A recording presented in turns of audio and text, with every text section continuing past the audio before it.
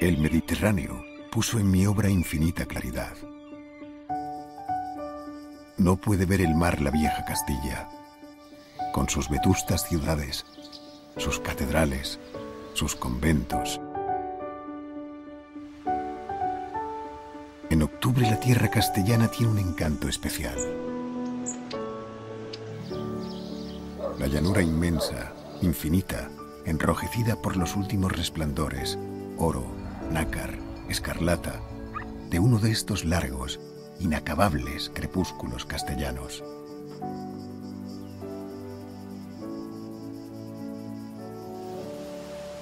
Las lagunas de Ruidera comienzan a descubrir, entre las vertientes negras, sus claros, azules, sosegados, limpios espejos.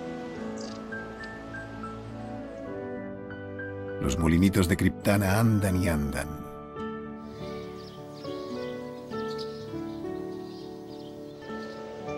La soledad verde es la soledad del paisaje en la lejana y solitaria Galicia. Con los ojos del espíritu veo esas verdes soledades y me empapo voluptuosamente de silencio. El cielo, como casi siempre en París, nos muestra su ceniza. Los árboles expanden su follaje en el ambiente dulce. El Sena se desliza manso, de color acerado.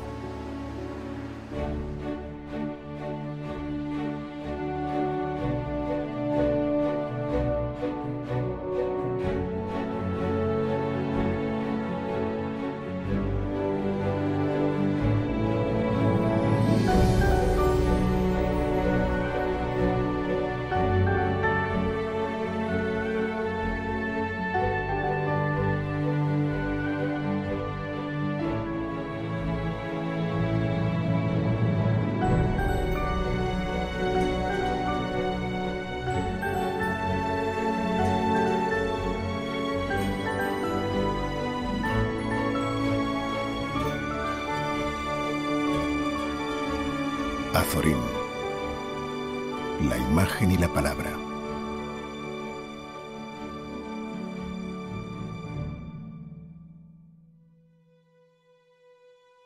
La ruta de Don Quijote es uno de los más hechiceros libros que he leído.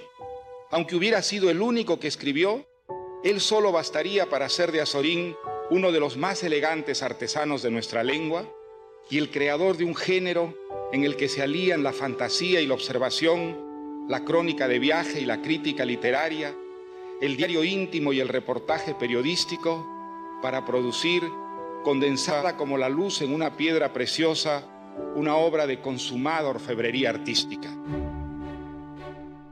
Don José Ortega Munilla, director del Imparcial y padre de Ortega y Gasset, me encargó en 1905 una serie de crónicas sobre la ruta de Don Quijote, con motivo del tercer centenario. Abre un cajón, saca de él un chiquitito revólver y lo pone en mis manos. Le miro atónito. No sé qué decirle.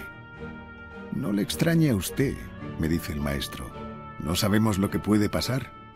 Va a viajar solo por campos y montañas y ahí tiene usted ese chisme por lo que pueda tronar.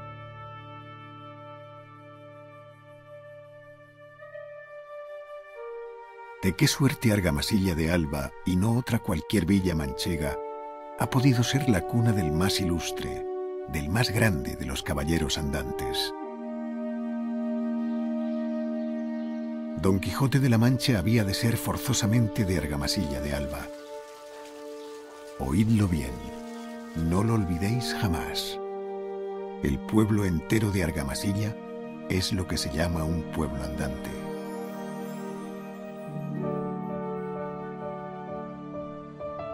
Yo no he conocido jamás hombres más discretos, más amables, más sencillos que estos buenos hidalgos.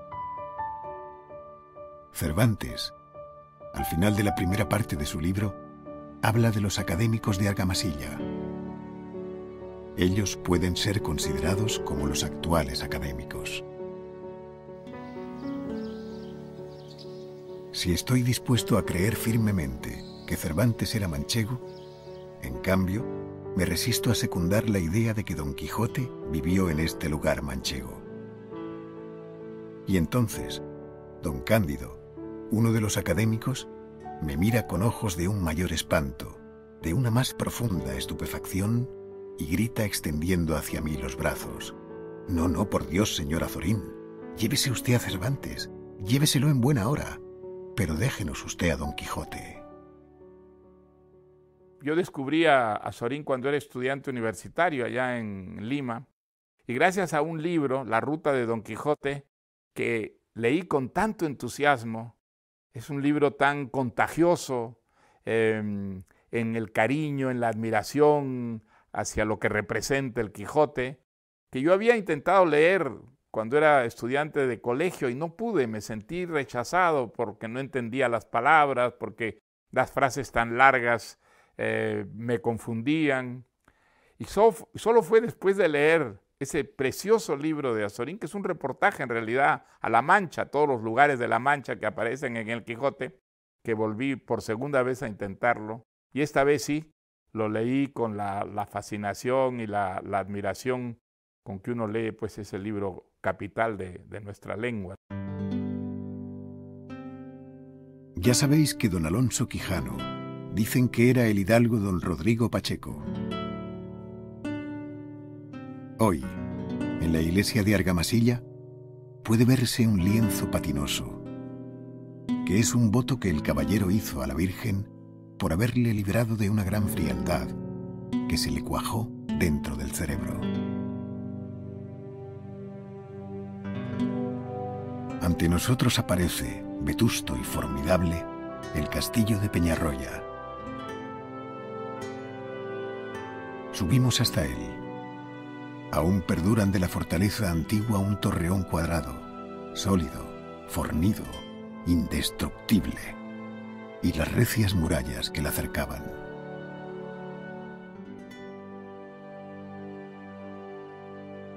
Y cuánta casta de pintorescos tipos de gentes varias. De sujetos miserables y altos, no debió de encontrar Cervantes en esta venta de Puerto Lápiche en las veces innumerables que en ella se detuvo.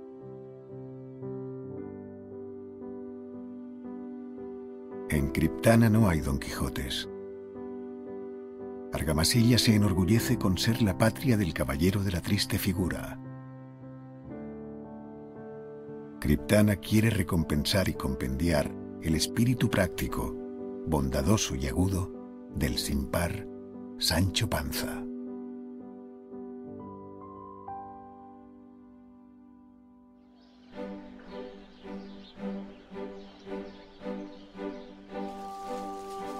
Toboso es un pueblo único.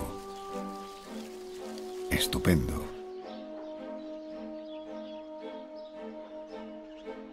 Ya podéis ver la torre cuadrada, recia, amarillenta de la iglesia y las techumbres negras de las casas.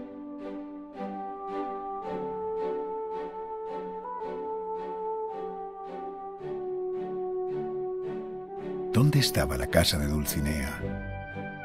¿Era realmente Dulcinea esta Aldonza Zarco de Morales de que hablan los cronistas? La casa de la sin par princesa se levanta en un extremo del poblado, tocando con el campo. Aún perduran sus restos.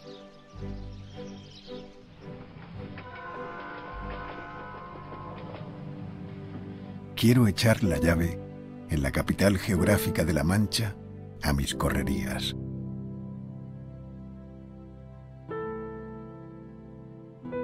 ¿Habrá otro pueblo, aparte de este, más castizo, más manchego, más típico? donde más íntimamente se comprenda y se sienta la alucinación de estas campiñas rasas? Vivir doloroso y resignado de estos buenos labriegos. La monotonía y desesperación de las horas que pasan y pasan lentas, eternas, en un ambiente de tristeza, de soledad y de inacción. La figura de Azorín no está suficientemente valorada en España pero sobre todo, que es lo que más me preocupa, no está suficientemente leída su obra. Hoy en día se lee muy poco, y se lee muy poco a la generación del 98 en general, y se lee muy poco a Azorín en concreto. Con lo cual se ha perdido un nivel, se ha bajado un grado en la calidad eh, de la literatura. Hay muy pocos escritores paisajistas en la actualidad. Yo salvaría solo a Julio Llamazares. El libro de Azorín ayudó muchísimo a difundir eh, la imagen de la Mancha y el propio libro del Quijote de Cervantes. El paisaje contra lo que tradicionalmente se ha creído no es un telón de fondo del escenario donde se desarrolla la vida. El paisaje es ese espejo en el que nos reflejamos que condiciona nuestra manera de ser y que influye en nuestra forma de ser. La ruta del de, Quijote de Azorín es un libro fundamental y fundacional, sin duda ninguna.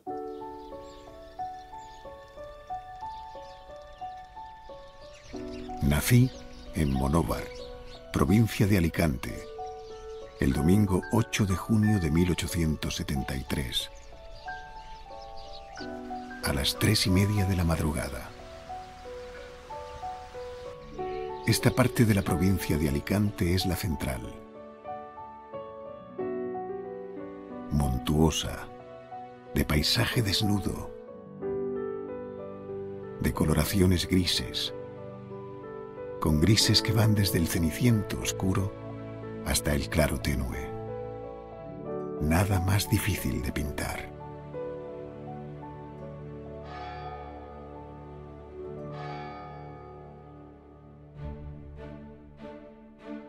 Recuerdo la callejuela de la torre con sus devanaderas que, al son de una cancioncilla, entrelazaban los bolillos de sus encajes. ¿Cómo iba yo a la escuela? ¿Por dónde iba? ¿Qué emociones experimentaba al entrar? ¿Qué emociones al verme fuera de las cuatro paredes hórridas? Era una familia hacendada donde el único disidente, por así decirlo, era Zorín, que era el que se negó a estudiar la carrera de Derecho para dedicarse a lo que verdaderamente le gustaba, que era ser periodista y escritor. Y el padre de Azorín era abogado, diputado provincial de Alicante, fue también alcalde de Monóvar y era la persona que administraba los bienes de la familia.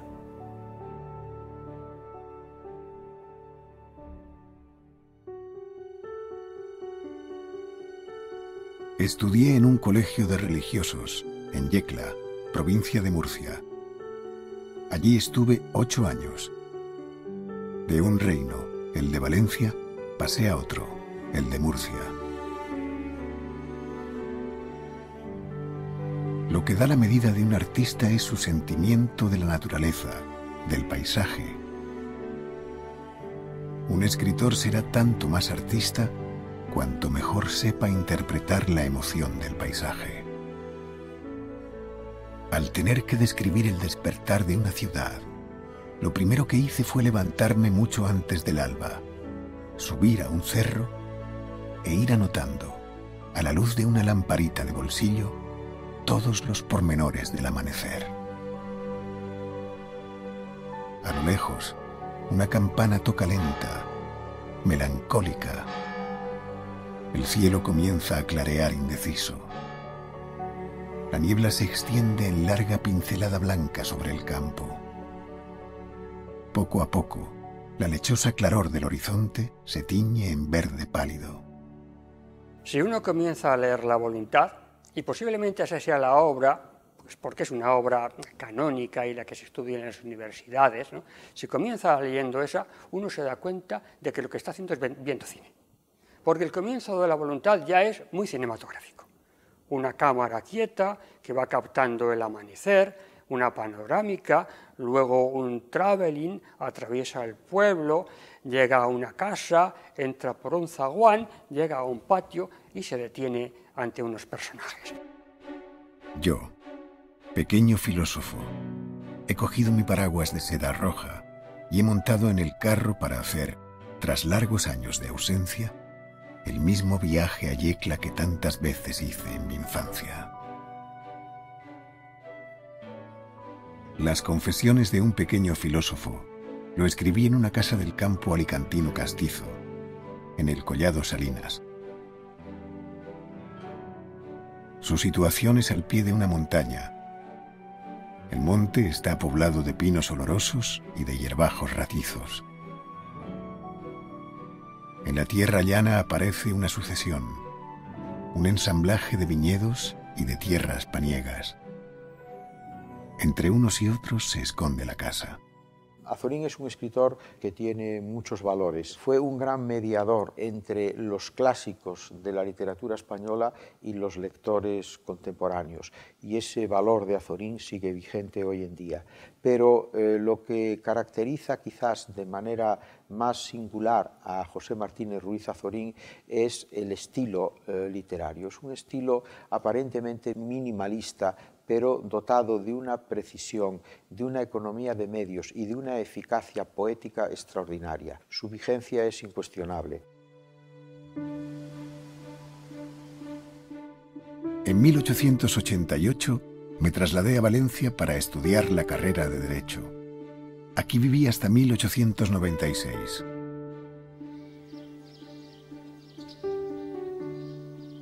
En las puertas de la universidad pone en letras de bronce Universidad Literaria. Y recuerdo que, adorador yo de la literatura creadora, literatura de imaginación, verdadera literatura, ese rótulo me irritaba sordamente. Zorín, o José Martínez Ruiz, como se llamaba entonces, se trasladó a Valencia. Las primeras correrías de Azorín en Valencia es por la calle La Nave, por la calle Bonaire, por la calle Las Barcas, todo alrededor de la Universidad Literaria. Él se dedicaba, digamos, a pasear, a no estudiar. Era mejor estudiante que estudioso. De hecho, no consiguió aprobar. Tuvo que trasladar la matrícula a Granada porque allí había posiblemente algún catedrático más fácil que podía hacer un aprobado general. Después lo intentó también en Salamanca, pero él en Valencia lo que desde el primer momento él decide ser periodista, no abogado. En Valencia escribí artículos periodísticos en El Pueblo, que dirigía Blasco Ibáñez, y El Mercantil Valenciano, y publiqué algunos folletos literarios. Comencé a llevar en el bolsillo un cuadernito en que iba apuntando los detalles de lo que veía. Blasco Ibáñez trabajaba incansablemente. Nuestras estéticas se oponían. Las relaciones que nos ligaban se enfriaron. Volvieron a ser cálidas y sinceras años después. En el Ateneo Mercantil pronuncié un discurso que titulado La crítica literaria en España se editaría en forma de libro. Azorín eh, describe con la pluma los paisajes muchas veces como si pintara un cuadro. Entonces es bueno haber tenido cerca algún cuadro de Sorolla y de esa manera podemos aprender cuál era la paleta que utilizaba Azorín para describir. Pero hay como dos vertientes. Una es el paisaje que podríamos llamar estático y otro es el paisaje dinámico, el paisaje que evoluciona a lo largo del día. Azorín utiliza el paisaje eh, que ve inmediato para describir eh, lo que son sus formas, lo que son sus elementos, los componentes que tiene ese paisaje y los colores que le caracterizan en cualquier hora del día.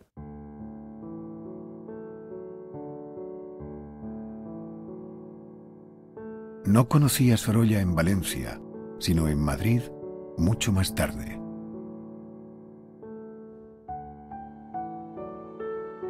Valencia es la tierra de los pintores y de los pintores desposados con la luz. Yo creo que Joaquín Sorolla es un gran pintor.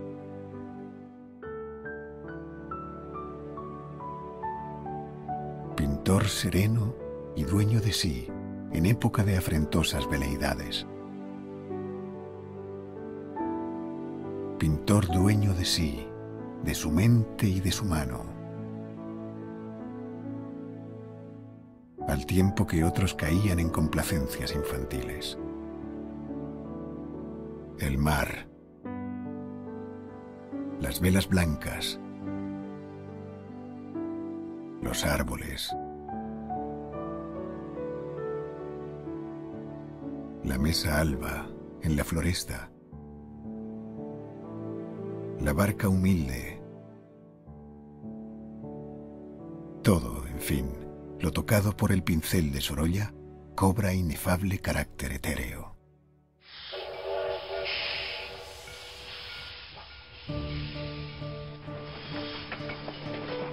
Vine a Madrid en el otoño de 1896. Había yo pasado en Valencia diez años, estudiando Derecho.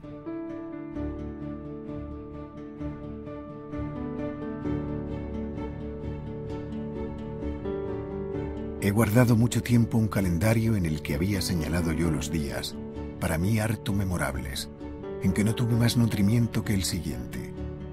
Un panecillo por la mañana y otro al anochecer.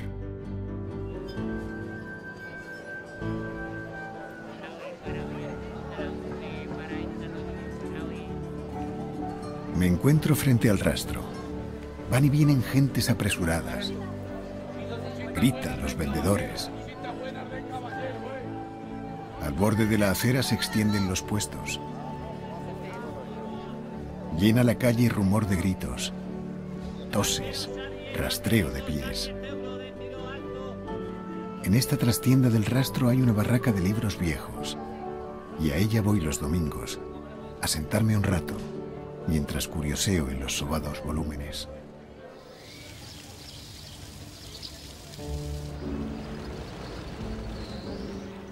El retiro es un bello parque. Hay en él, como en los paisajes de Troyón, seculares árboles.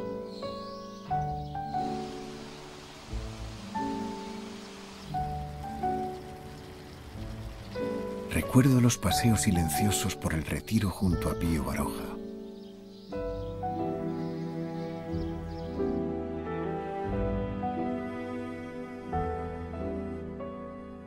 Podemos imaginar Madrid sin Lardi.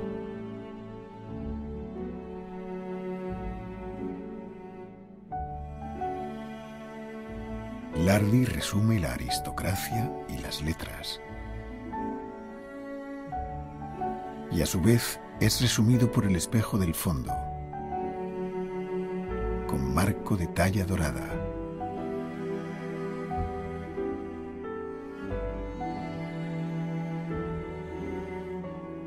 La Plaza Mayor de Madrid es una hermosa plaza.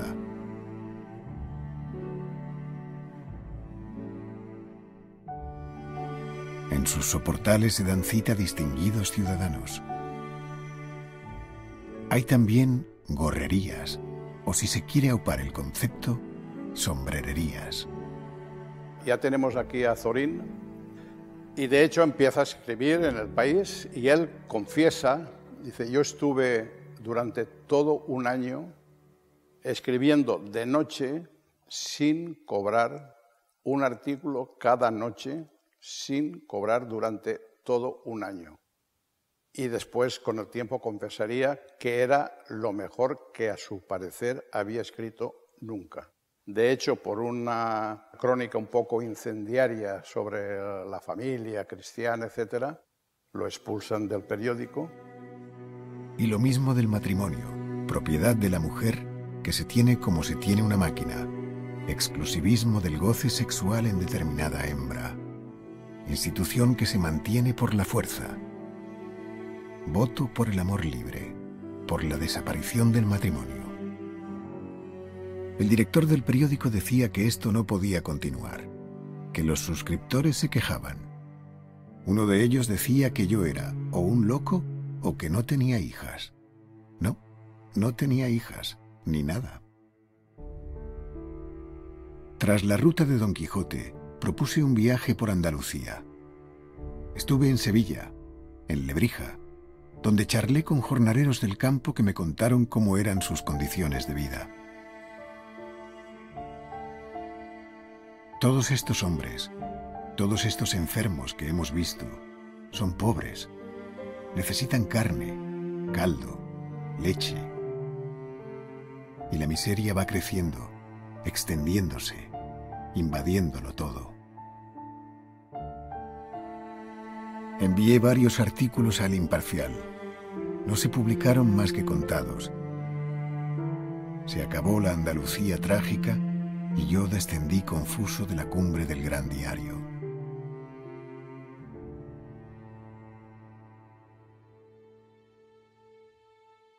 No debe el periodista ser prolijo ni confuso. Debe escribir breve. Complemento de la concisión es la claridad. En vano ser breve si no se fuera también claro, es decir, comprensible para todo el mundo. El arte del periodista es el de saber contar, el de saber narrar los hechos y de explicar las frases los matices, los pormenores de un problema político o social.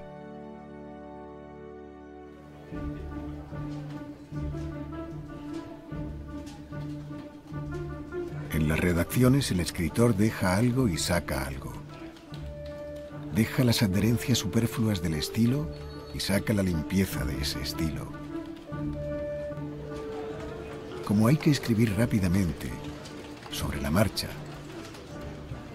pasada la medianoche, en tanto que las máquinas marchan ya, se apartan los arrequibes impertinentes y se escribe de un modo rápido y directo.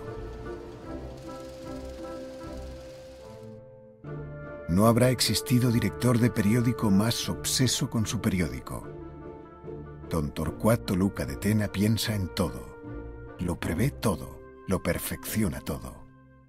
Cuando Torcuato Lucaetena le ofreció a Zorín empezar a colaborar en ABC, él se sorprendió y él eh, lo primero que le dijo es que él era republicano, confeso y, que, y convencido.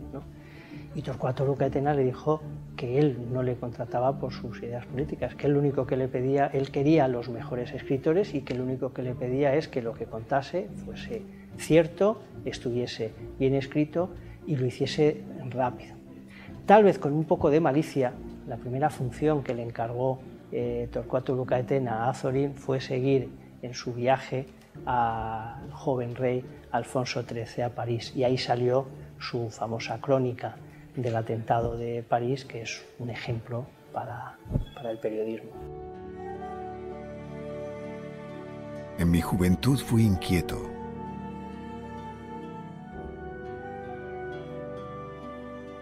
vejez sosegado.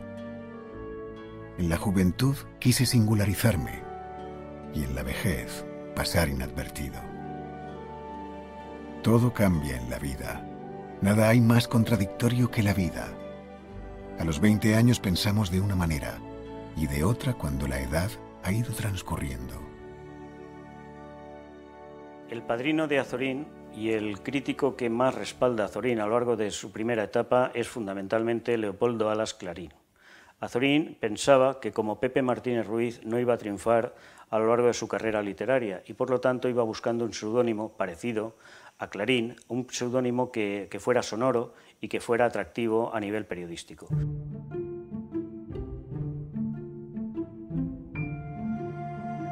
Soy otro Antaño fui un hombre escritor llamado Arimán y Cándido.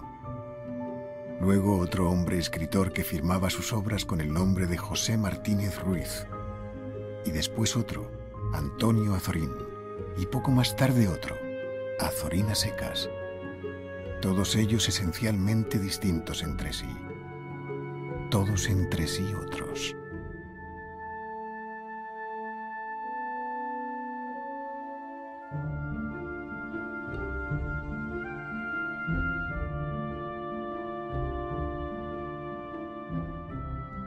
Los políticos no son una clase aislada en un país.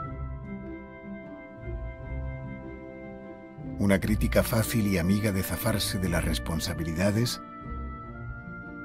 echa sobre los políticos la culpa de todos los males y dolanzas de un país. Los políticos no son ni mejor ni peor que las demás clases sociales.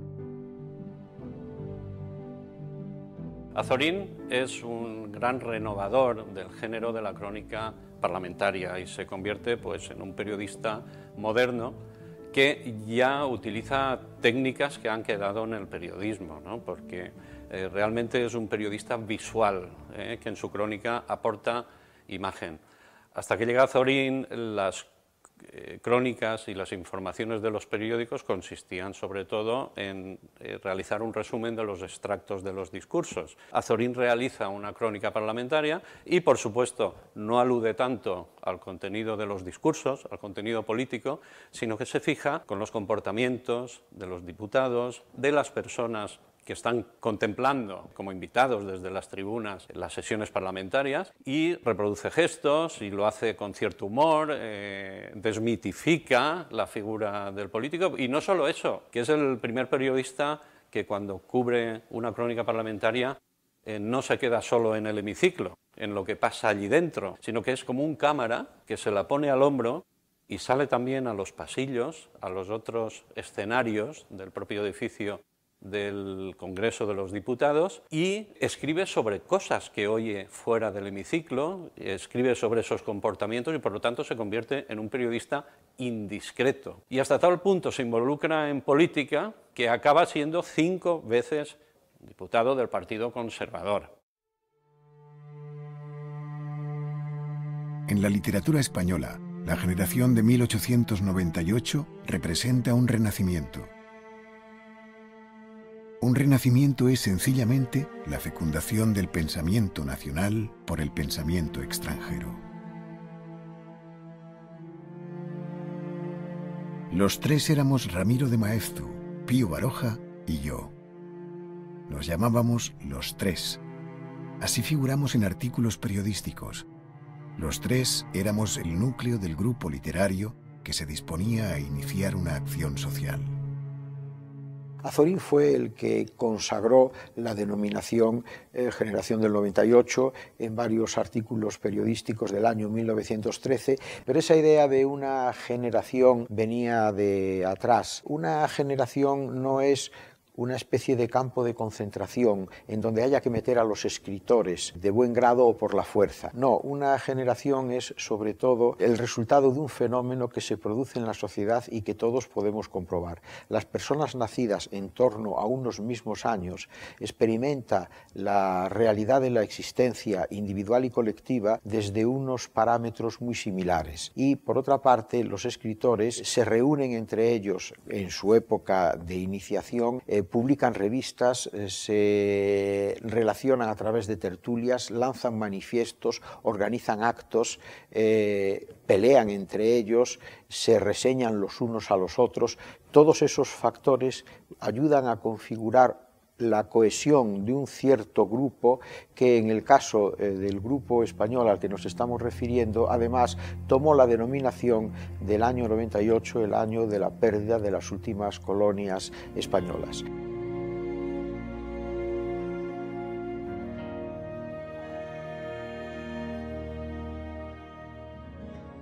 Galicia estaba lejos. Valle Inclán y Camilo Bargiela nos servían de enlace espiritual con Galicia. El viaje era entonces interminable. A la otra parte del mundo, en los confines de la tierra habitada, estaba ensoñadora y neblinosa Galicia.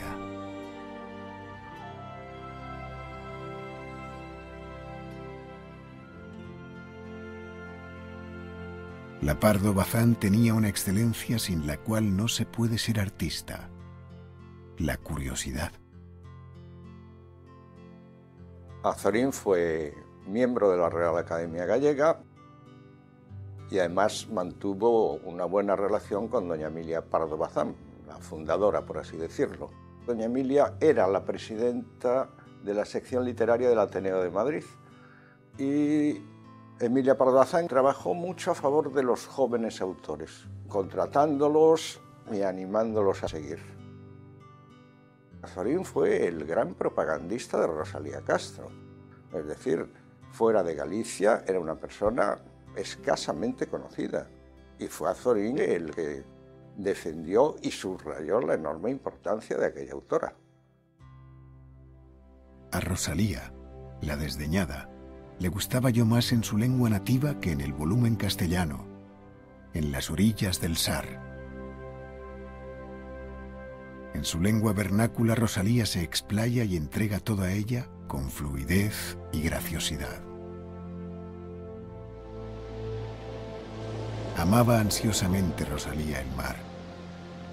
En el mar veía un reflejo de su espíritu solitario y en perpetua inquietud.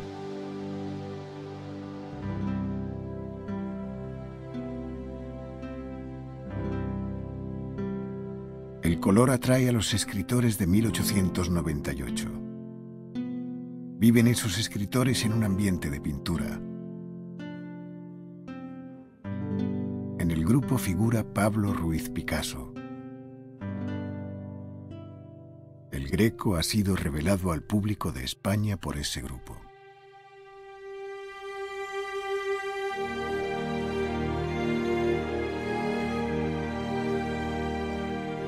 Ver el adusto y duro panorama de los cigarrales de Toledo es ver y comprender los retorcidos y angustiados personajes del Greco.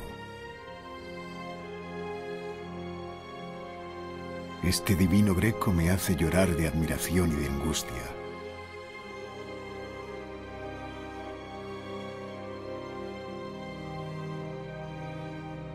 Sus personajes alargados, retorcidos, violentos, penosos.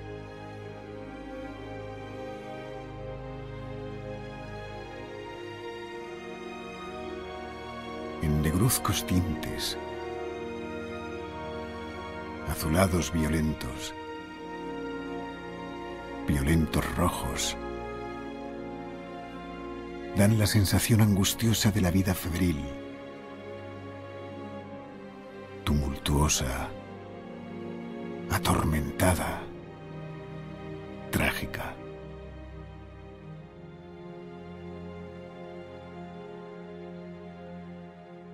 Toledo es una ciudad sombría, desierta, trágica, que me atrae y me sugestiona. Salgo a la plaza de Zocodover y doy una vuelta por los soportales. No me siento precisamente necio, pero me atrae más una toledana comprando mazapán que los libros del cardenal Sancha. La catedral es fina, frágil y sensitiva. La dañan los vendavales, las sequedades ardorosas, las lluvias, las nieves. Las piedras areniscas van deshaciéndose poco a poco. Encuentra Zorín en Castilla justamente la expresión de esa identidad, eh, de esa identidad general, no del castellano, sino de esa identidad de España. De todas maneras, Castilla queda sublimada precisamente por ser ese eje. Y hay un momento en el cual Azorín escribe algo que a mí me impresiona cada vez que lo releo, y es que no puede escribir la palabra Castilla sin sentir una profunda emoción. Azorín va destapando como cofres, va abriendo cajas, según va por el paisaje. Unas son olorosas, otras son acústicas, porque oye el canto de los pájaros, el zumbido de las abejas, el rumor del río, eh, porque huele el, aroma de las jaras o de las retamas o los olores eh, propios del romero en el campo de esa Castilla. La luz de Segovia es más reverberante y fina que la luz de las otras ciudades españolas. La torre de la catedral es cuadrada, recia, con resaltes en las esquinas.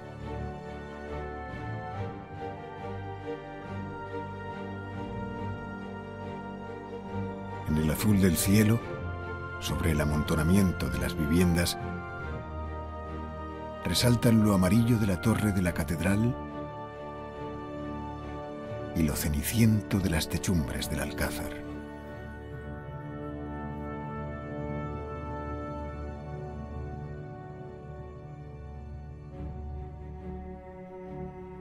Ávila es, entre todas las ciudades españolas, la más siglo XVI. Las murallas, con sus 88 torres,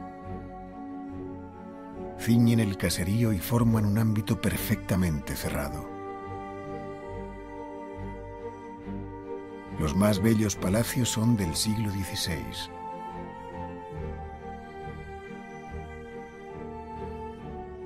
El ambiente es aristocrático y hay un momento en la vida de Ávila en que esta modalidad culmina en una fórmula viva y espléndida.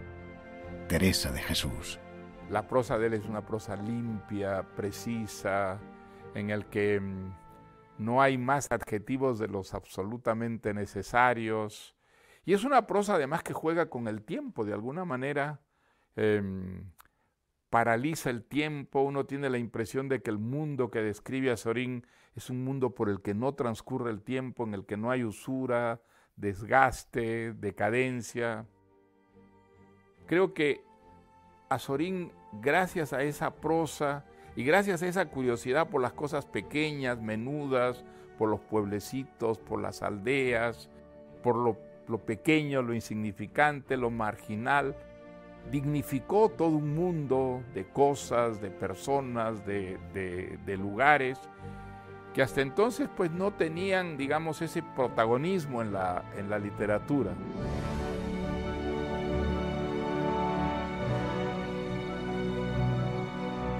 Las nubes nos dan una sensación de inestabilidad y de eternidad. Las nubes son, como el mar, siempre varias y siempre las mismas. A estas nubes que ahora miramos, las miraron hace 200, 500, 1000, 3000 años otros hombres con las mismas pasiones y las mismas ansias que nosotros. Azorín excelente escritor. Lo que pasa es que no sabía el castellano. Escribía en catalán. Decía la puerta es verde, punto. El cielo es azul, punto. Ese señor tiene una nariz grande, punto. Esto no es castellano. Eh, el lenguaje castellano es una frase larga que se termina generalmente en cola de pescado. La relación de Azorín con Cataluña es una relación de muchísimos años puesto que Azorín estuvo trabajando con más de 200 artículos en el diario Barcelona a principios del siglo XX y posteriormente en el diario La Vanguardia desde 1910 a 1918. Azorín piensa en todo momento que la mejor imagen de España en Europa se llama Cataluña y así lo defiende en muchos momentos. Es más, en plena dictadura de Primo de Rivera, en 1924, Azorín, junto a Gregorio Marañón y otros intelectuales, firman un manifiesto en favor de la lengua catalana cuando estaba absolutamente perseguida y los catalanes hacen un manifiesto también elogiando esta defensa que ha venido haciendo Azorín y el resto de intelectuales. Cada vez admiro más a Cataluña. La mejor imagen de España en Europa se llama Cataluña.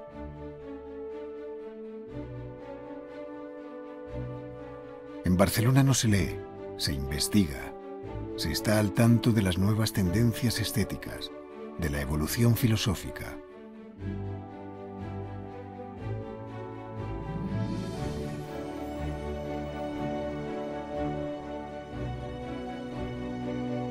Recordamos a Maragall, sus ojos pensativos, un poco tristes, y su barba corta y desigual. Había en su persona un ambiente de recogimiento y de sensitiva nerviosidad. Juan Maragall ha sido el poeta más fino y delicado de la España contemporánea. Cataluña. Tus costas luminosas atraen nuestra mirada, la mirada de nuestro espíritu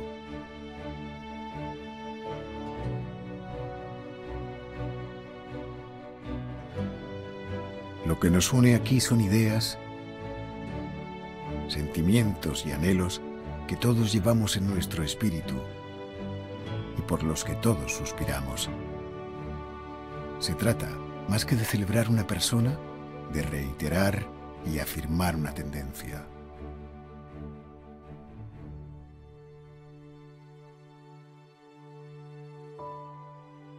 No volveré a la academia.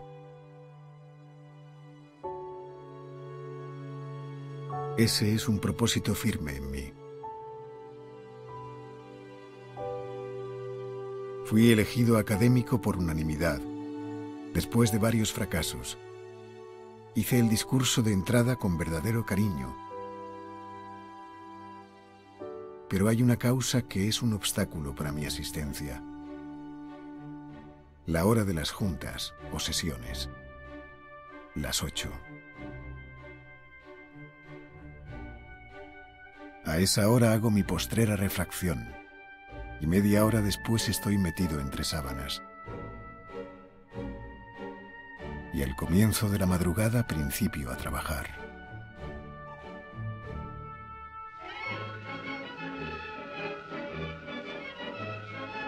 ¿Quién ha traído la República? ¿Por quién ha venido la República?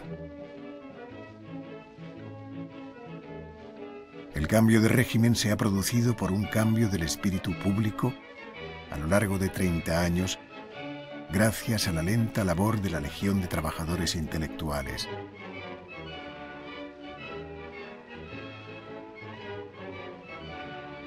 La República la han hecho posible los intelectuales.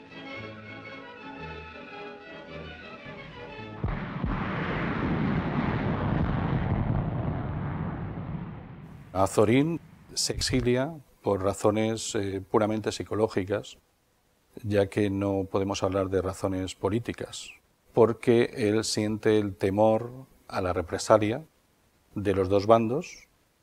Por un lado había apoyado a Juan Mar con unos artículos y por otro lado se había declarado republicano y él considera que puede ser represaliado. Por otro lado, también el temor a no, poder publicar le impele marcharse a huir hacia el exilio.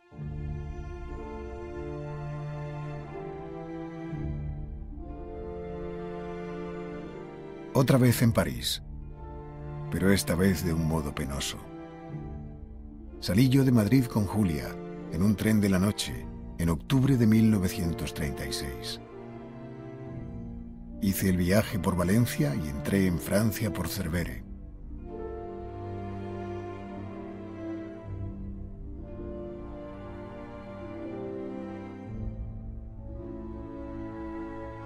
Estoy perdido en París, perdido en todos los conceptos. No sé por dónde me ando, porque mi espíritu está ausente. Me encuentro materialmente en París, pero mi espíritu está en Madrid.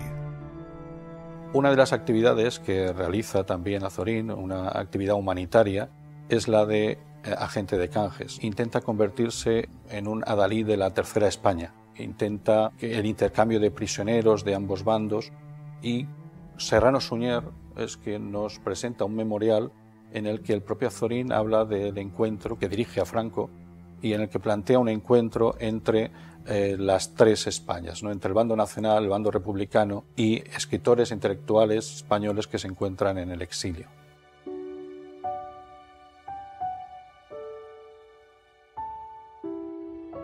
¿Cuál será la actitud de un ciudadano fuera de su patria?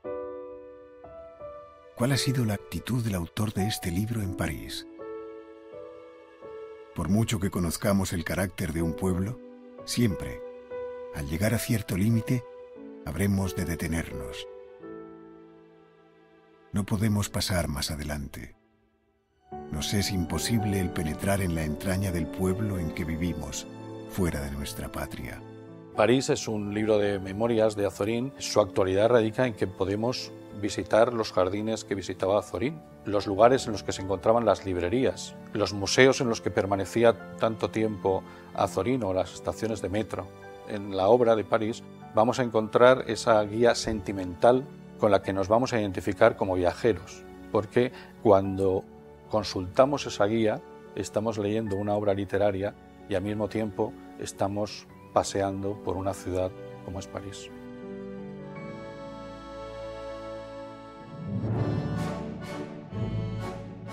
En París hay infinitas librerías. Por todas partes se ven libros vayamos recorriendo los puestos de libros viejos a lo largo de los malecones del Sena.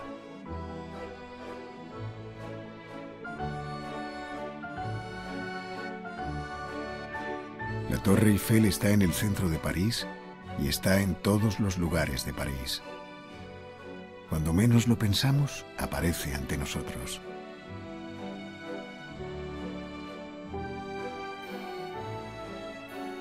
El Louvre es inmenso. Más completo museo no lo habrá. Llevamos más de 50 visitas. Nos conocen los guardianes. Llegamos con apetencia de ver cuadros, famosos cuadros, y al cabo nuestra glotonería nos produce náuseas.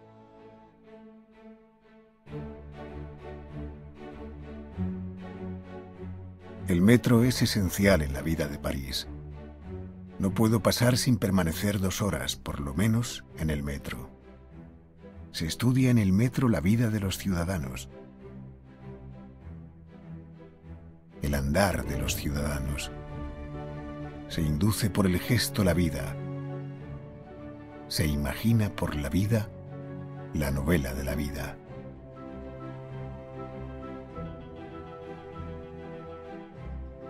El mercado nos ayuda a comprender una ciudad. El mercado es vivero de lingüística y concierto de color.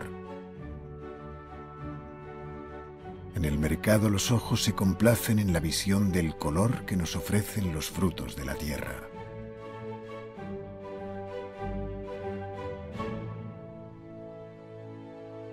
En París existen, intramuros, en plena ciudad, tres grandes cementerios, el de Montparnasse, el de Montmartre y el de Père Lachaise.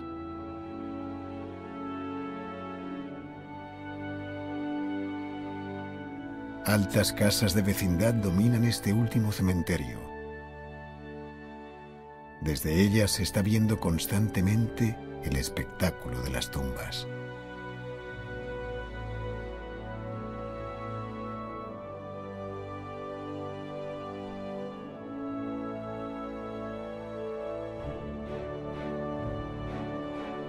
En París hay grandes jardines y chicos jardines. Los chicos son nuestras glorietas.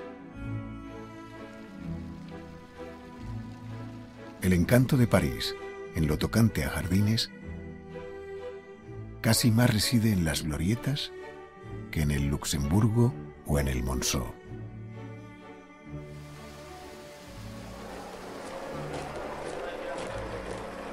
Cuando acaba la guerra civil, pues prácticamente eh, él ya tiene una edad, tiene más de 60 años y se esfuerza en volver a España.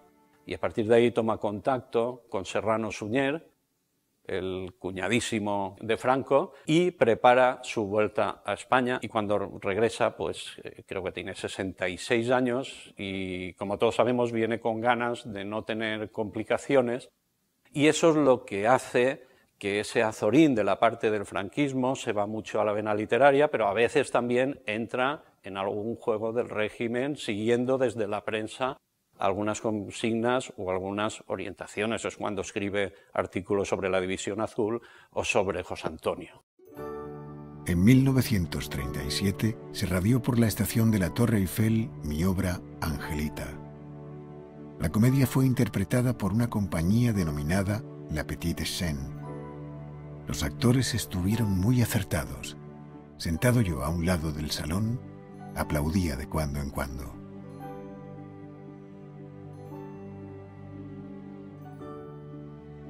He hecho teatro sin sensiblerías ni filosofías. Nada de decorados, nada de mobiliario. Cuatro paredes desnudas, unas cortinas y basta. La palabra, la palabra lo es todo en el teatro.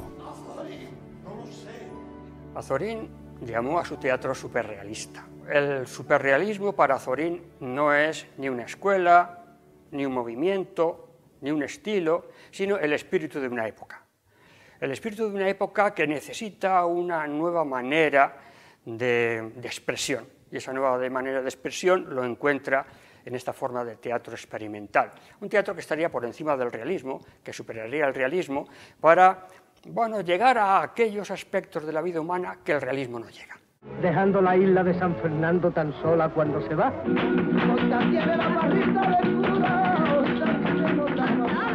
He visto en tres años unas 600 películas. No es mucho. Algunas, deliberadamente o por las circunstancias, las he visto dos, tres o más veces.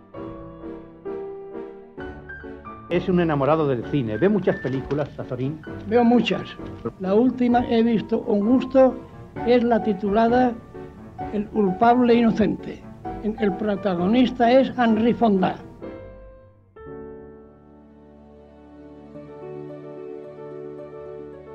Nos encontramos en un momento terminal en la historia del arte. Acaba un mundo. Comienza otro. Cuanto amamos en literatura está en vías de desaparecer.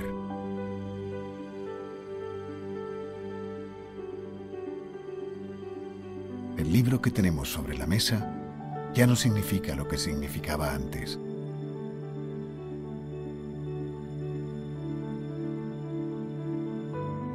Azorín es un artista, Azorín es un creador. ¿El por qué? Porque él ha creado un mundo. Ha creado un mundo que muchas veces cuando vamos al de nuestra experiencia pensamos, esto es como en los libros de Azorín. No, no, es que Azorín nos hace ver el mundo de esta manera. Ha suscitado en nosotros ya una manera de situarnos ante el mundo, que es algo suya propia y que lo hemos aprendido en él. Cavilar y contar. Ese es el oficio del cuentista. Yo creo que le debo contar al lector, punto por punto, sin omisiones, sin defectos, sin lirismos, todo cuanto hago y veo.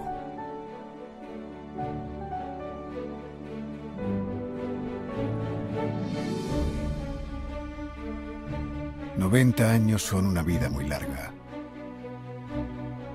Si no se olvida el agravio, no se puede hacer nada, ni en literatura ni en política. Olvidar es lo supremo y lo más delicado que puede hacer un hombre.